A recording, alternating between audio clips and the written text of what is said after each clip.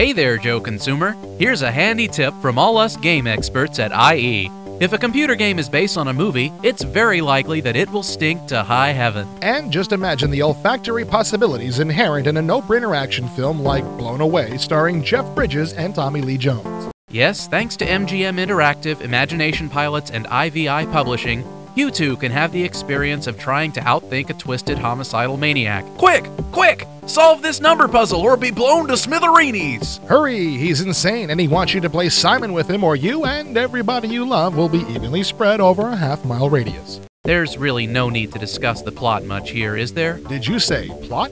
You're being stalked by a crazy Irishman who's already blown you up once and is eager to do so again. And if you're not handy to blow up, he'll blow up your family and friends. I bet your friends would blow up real good. Why doesn't it surprise me that neither of the film's original stars could be bothered to participate in this project? Now you're misdirecting your anger. The problem is that this game is not the absence of Tommy Lee Jones. The long haired Irish psycho is actually played pretty well by Jimmy Skaggs.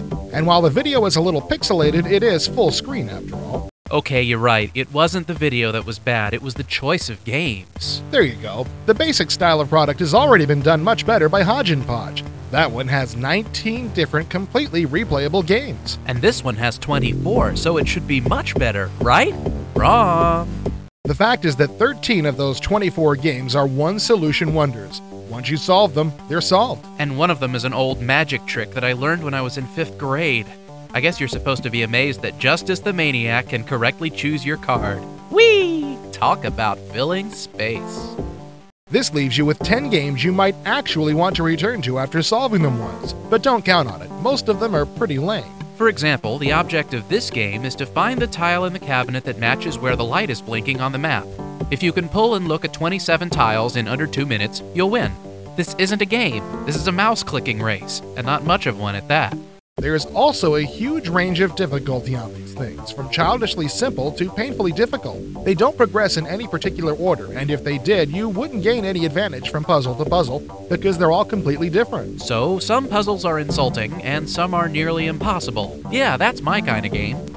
The game concept itself seems a bit flawed. A game based on an action movie should be more, well, action oriented. With all the sarcastic cracks and threats from Senior Psycho, the overall tone of Blown Away is not unlike being forced at gunpoint to play Scrabble with a strung out Denis Leary. That's not a pretty picture.